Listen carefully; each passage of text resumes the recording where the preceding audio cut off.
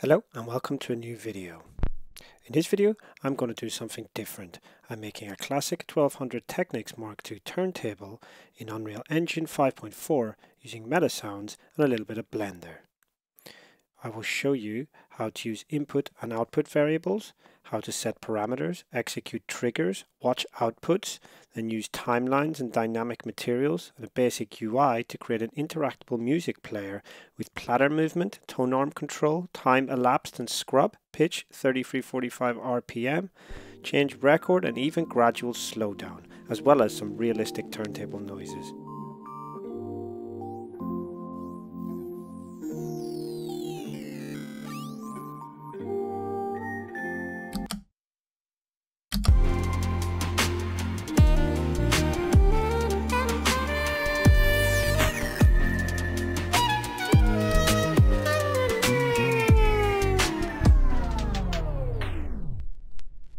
This tutorial is a monster, so I'm going to break it down to you first with an introduction and release all the parts gradually as I edit them. I'll show you the basic concepts of the Technics 1200.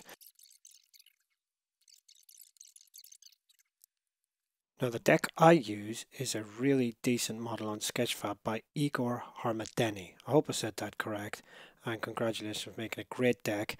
The way I do lay out the tutorial is I separate the turntable and the audio blueprint so you don't have to even have a physical turntable. But if you do, with this one I have to bring it into Blender and separate all the individual parts and assign some new materials, some materials for the LEDs, set some pivot points and test some animations for bringing into Unreal.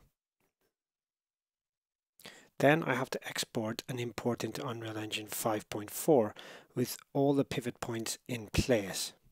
Here I add all the objects to a blueprint, provide some basic lighting and a basic widget. An extra step here is actually digitizing some records as 3D models, which is quite enjoyable, taking pictures of them with a cross-polarizing filter and then doing some cloning in Photoshop to create clear labels and different color variations for the records. Again, these steps are all optional. You can do them if you want. You can even create some basic roughness materials and you can scale them up to fit the size of the turntable and import that all back into Unreal when you're done. In Unreal, we can go about setting up the Metasounds and a blueprint that talks to the Metasound blueprint and also a Metasound patch as well for bit crush and crackle effects that we'll add later. Additionally, we record some turntable sounds like the noise of the start stop button, the on off switch, and even the LED flicking on and off for authenticity.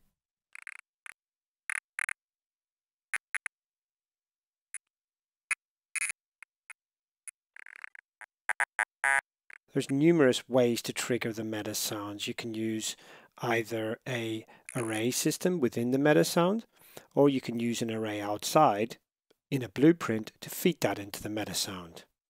We can acquire the track length and the time elapsed with some output watching. Then we can start assigning things like the pitch and the 33 and 45 RPM bottoms to both the platter speed and the actual pitch of the Metasound to get some realistic effects of a real platter.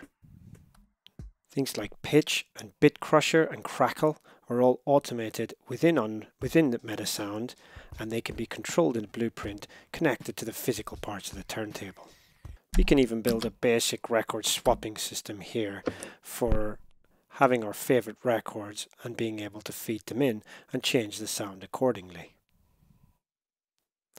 Additionally, we program some logic which enables the turntable not to function if it's not turned on. Upon turning it on, 33 RPM is always chosen and we can put in some nice little tricks like clicking on various parts of the pitch control to move the pitch accordingly. Once all this is in place, we're ready for our first full test.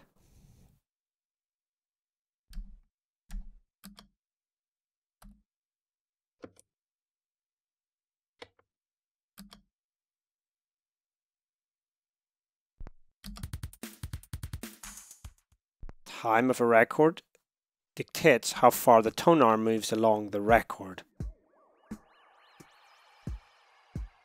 Tone arm can be lifted off and the record can be ejected.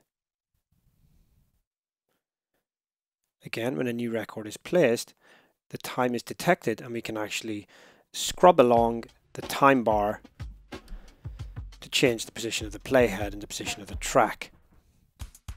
My favourite part is the pitch slowdown demonstrated here.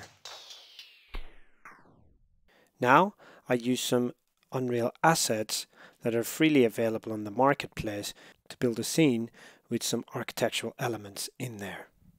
I hope you enjoyed watching the video and if this is your kind of thing give it a like.